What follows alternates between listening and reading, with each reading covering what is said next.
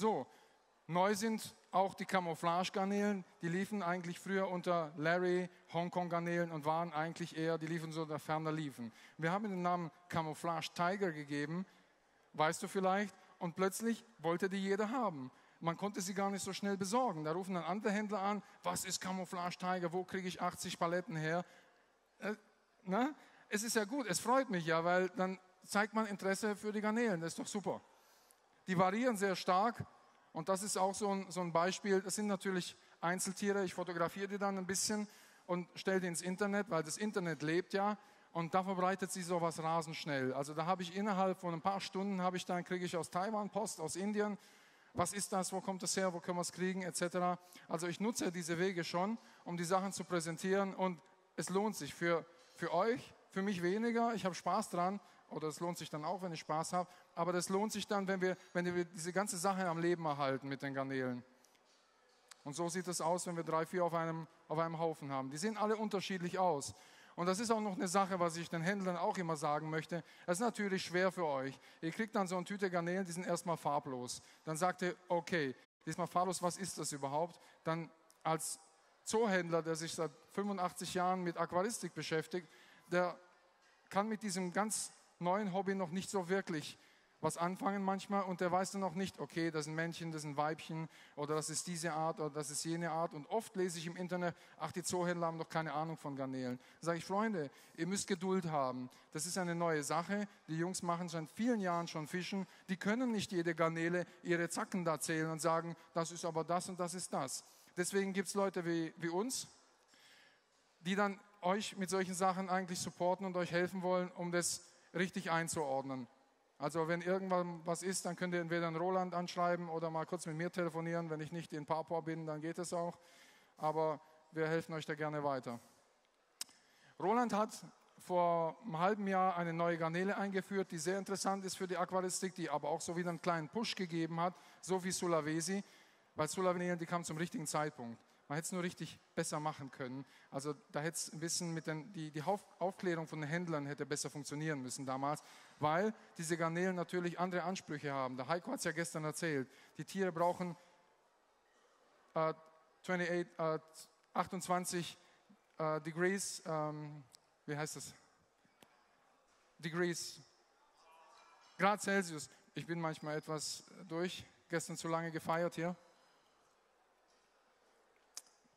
Und dann ist ja klar, dass man, wenn die ganz andere Werte haben, dass man das erstmal nicht weiß und hat man viele Verluste und irgendwann sagt man, ach, das lasse ich, das bringt nichts.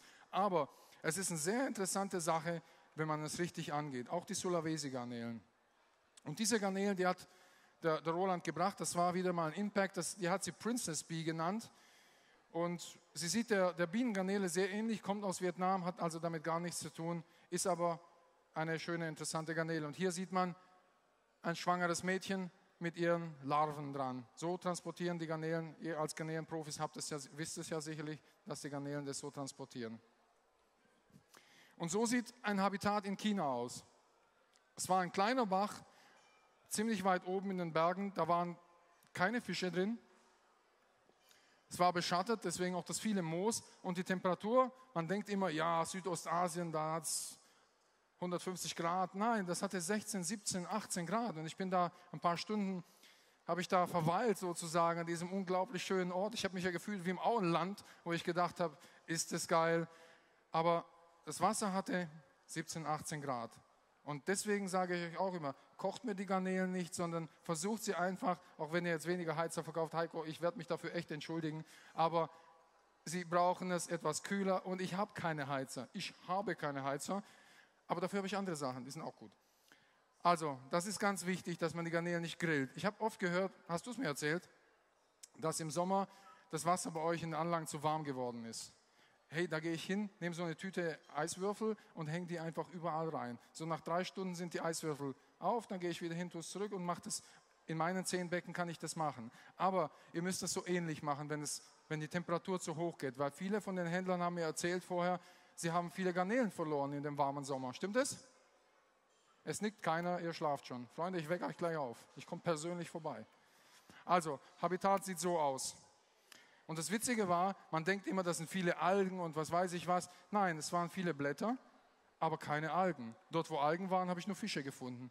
Also wo es veralgt war, da gab es nur Fische. Hier gab es viele Blätter und Kies, ganz normaler Kies.